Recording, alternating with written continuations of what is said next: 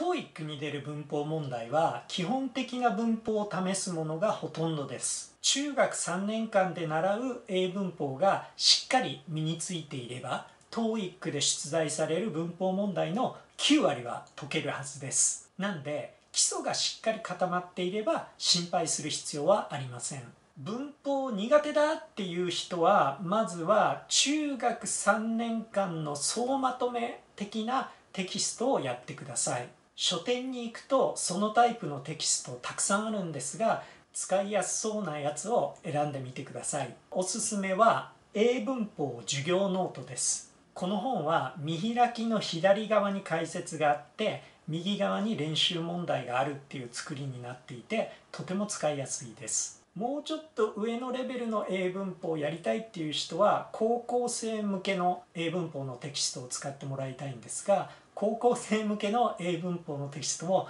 とてもたくさんあります。その中で私がおすすめなのは1億人の英文法。この本はイラストがたくさん入っていて分かりやすいと思います。それから私自身自分で使って一番役に立った英文法の本は English Grammar in Use これは英語で書かれた英文法の本なんですが英語学習者用に書かれているんで分かりやすい簡単な英語で解説がしてあります。それから解説を補足するための例文とイラストがたくさん入ってるんでとても分かりやすい本です。それから TOEIC に特化した文法の本の中でおすすめなのは初心者用は初心者特急パート5